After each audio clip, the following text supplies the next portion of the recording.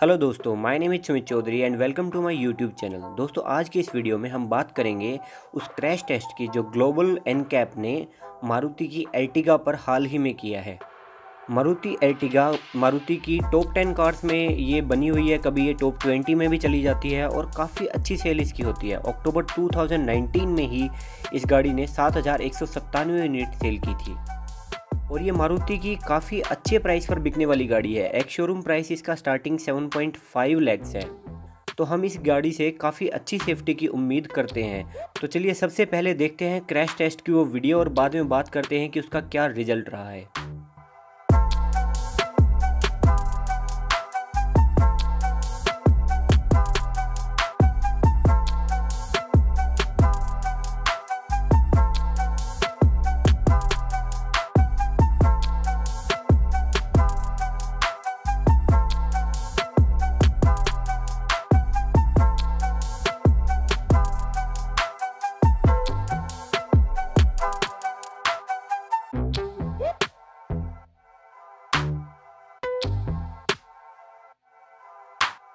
तो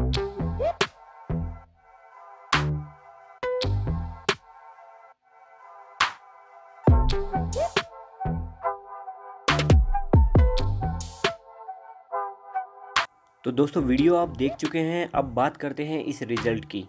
तो Maruti Suzuki Ertiga को 17 पॉइंट में से ग्लोबल एन कैप ने 9.25 मार्क्स दिए हैं, जो कि एडल्ट ऑक्यूपेंट के लिए हैं, यानी कि कोई एडल्ट पैसेंजर के लिए। और इन मार्क्स के अकॉर्डिंग ग्लोबल एन कैप ने इसे पाँच में से तीन स्टार दिए हैं, जो कि बहुत अच्छे नहीं है, पर कह सकते हैं कि हम सेटिस्फैक्ट्री हैं। पर इतनी अच्छी गाड़ी से इन स्टार्स की उम्मीद नहीं थी। हम एक्सपेक्ट कर सकते थे कि कम से कम चार स्टार इस गाड़ी को मिले, जो कि महिंद्रा की मेराजो को मिले हैं, जो सेम सेगमेंट की कार है। अब बात करते हैं चाइल्ड ऑक्यूपेंट की तो 49 टोटल मार्क्स में से इस गाड़ी को मिले हैं 25.16 मार्क्स और उसके अकॉर्डिंग थ्री स्टार ही मिले हैं out of five for child occupant तो हम कह सकते हैं कि बहुत ज़्यादा पुअरली परफॉर्म नहीं किया, पर बहुत ज़्यादा अच्छा परफॉर्म भी इस गाड़ी ने नहीं किया. अब बात करते हैं कि कौन कौन से सेफ्टी इक्विपमेंट इस गाड़ी में लगे थे जिस पे क्रैश टेस्ट हुआ है. तो इस गाड़ी में ड्राइवर और पैसेंजर के लिए फ्रंट वाले पैसेंजर के लिए दोनों के लिए एयरबैग दिए गए हैं. Front seat belt pretensioners भी इस गाड़ी में मौजूद थे. इसी के साथ इस गाड़ी में एबीएस था फोर चैनल साथ ही सीट बेल्ट रिमाइंडर के फीचर थे और आइसोफिक्स एनकरेजेस भी इस गाड़ी में थे। अब बात करते हैं टेस्ट रिज़ल्ट की डिटेल्स की तो ड्राइवर और पैसेंजर दोनों के हेड और नेक को इस गाड़ी ने अच्छी सेफ्टी प्रोवाइड की है।